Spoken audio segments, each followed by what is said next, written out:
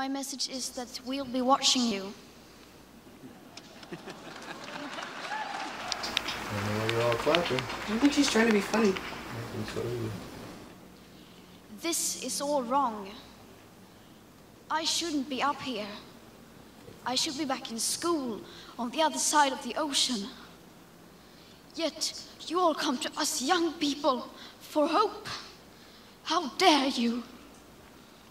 You have stolen my dreams and my childhood with your empty words, and yet I'm one of the lucky ones. People are suffering, people are dying, entire ecosystems are collapsing.